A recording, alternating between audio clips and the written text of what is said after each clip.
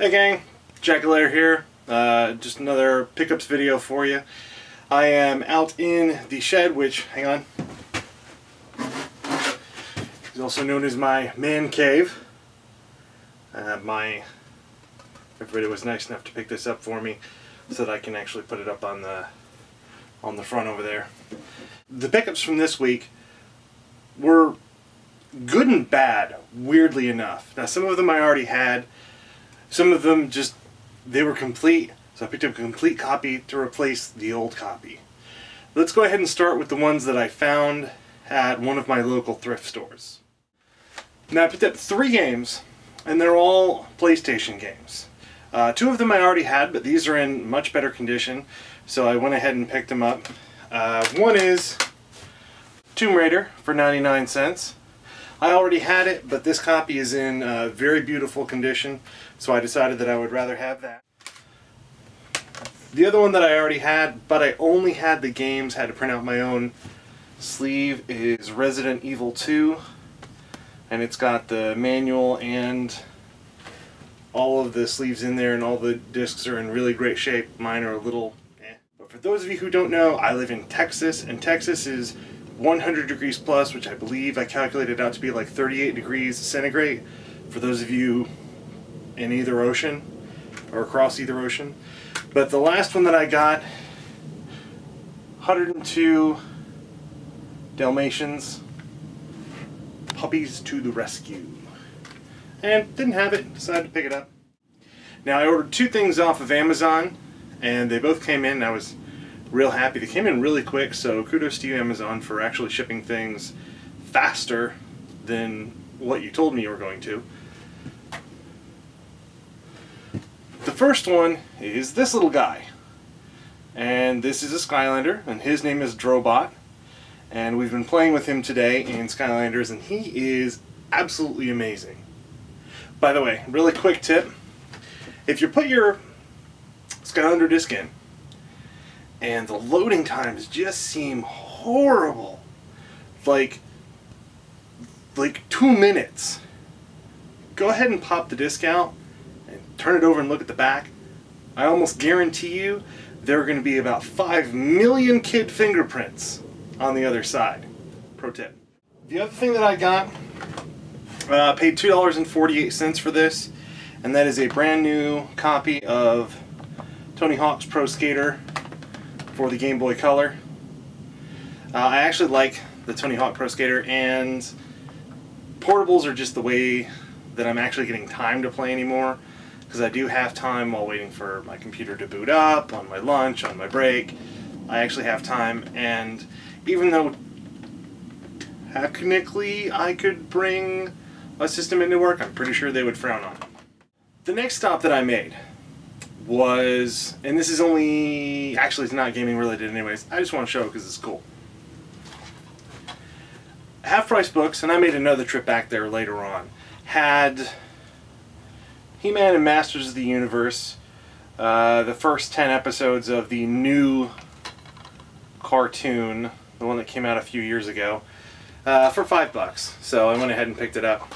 My sons and I are going to sit and watch this probably tomorrow if we get time.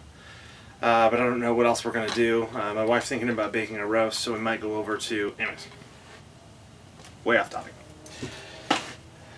The other things that I picked up, and these come from two different places. Go ahead and get these organized. So, the first three came from a local store that I go to. Now, I've let a few people know about it, but I'm not going to throw it out there for everybody. But picked up three games. First one's Family Feud. Bring on the feud. And it's for the Genesis, and it's actually in, like, I, I know you guys can't see it, or maybe you can. But it's, I don't know where the case was, but I bet you this lived in a case up until it got to them. The other one that I picked up was Ridge Racer. Ridge Racer Type 4. Now I want to show you something weird about this. Go ahead and set all these other things down. And maybe someone can tell me if this looks a little weird or not. Now, right there is disc one. And it says that, you know, that's disc one. On the back it says it comes with two discs. Now the other disc that's in here just says that it's Ridge Racer Disc 2. It doesn't say Ridge Racer Type 4 anywhere on it. So I don't know if that's the same one or not. Uh, if it is, please someone let me know uh, so that I know that I actually do have a complete copy. Uh, also, uh, no, I'll save that. And then there was this one. Lonely Guy, didn't have a cover on him. And this is Aquanauts Holiday. And it was for 90, 95 cents. Now, I instantly plugged it into my, the little app I use on my phone to keep track of my collection, and it said that this is now the rarest PS1 game that I have. Which I thought was odd. Now, it might just be that Aquanauts Holiday didn't have a big print run, so it didn't go anywhere. I don't know who it was made by. So that's that's that. I haven't had a chance to look at those. Uh, but I went back to Half Price Books because they were having a they're having a birthday celebration because I guess they've been around for a while. So what they did is everything that's a dollar clearance is now 40 cents. So I bought a crap load of books. Most of them have nothing to do with video games, so I won't bother showing you with them. Uh, the things that I did pick up, two games. One is uh, Star Wars Jedi Power Battles, for the Dreamcast, which I had this a long time ago and I ended up selling it. And I regretted that because as soon as I sold it, I remembered that it's two player. And I have a severe lack of two player games on the Dreamcast. Uh, just because most of them are fighting games, which me playing against my son really isn't fair to him. Because he is four? But he really loves the Dreamcast. So he plays Max Steel all day long. And the last one that I picked up uh, was $2.99. And I picked it up purely because I looked at it and went, you know what? Never heard of it before. Left my phone out in the car to charge and just decided, you know what? I'll take a chance on it. And that is Dual Heroes. So, know nothing about that game. And the last thing that I went to was Trader's Village went out to Trader's Village and was looking for a lawnmower. I needed a new lawnmower.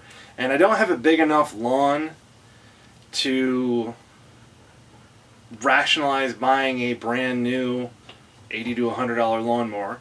So I go over there to the flea market, pick up a used one. And it works. In case you don't know, Texas, the, at least the area that I live in, really, really dry. So we don't get a lot of rain. So our yard doesn't grow very fast. There are months in the year where I only mow once a month. Now, for those of you who are into engines, you know that it's not good for an engine to only run once a month. You're supposed to run it fairly often. The reason that your car does so well is because it runs all the time. So nothing gets, nothing settles, nothing goes old. You're constantly refilling and redoing everything. It's also why you're supposed to change your oil every 3,000 miles or so. But Trader's Village found just a bizarre thing. And I thought since I just got done playing Batman that I, I couldn't help but laugh, so I had to pick it up. And it is the Nuby Boomerang 64. That's right, ladies and gentlemen. One of the weirdest controllers that I have I have seen in a long time. Now it does have a slow-mo and turbo and all that fun stuff. And the weirdest thing, the really, really weird thing, is it actually takes batteries. It takes AAA batteries. What's wrong with you? AAA batteries. When's the last time you bought a AAA battery? See? But it's it, it actually does feel kind of good. And I can imagine playing, you know, Killer Instinct Gold whenever I get it, or play a lot of the fighting games that are on the 64. Because it's got a nice... I mean, it, it's it's nice, it's big, and it, I've got big meaty hands, and it fits, feels really good, unless we have to go to the D-pad. And if the D-pad's involved, it just isn't happening. But, that's what I picked up uh, this week. I've also been sorting through uh, that big box that I bought and been kind of going through, putting some things up on sale, uh, giving some away. It's just, oh man, it's the never, it is the never-ending box of video games. Some of them I'm keeping and playing. For instance, after this video, I'll go play some Pools of Radiance. So, uh, thank you very much for watching, and as always, play on!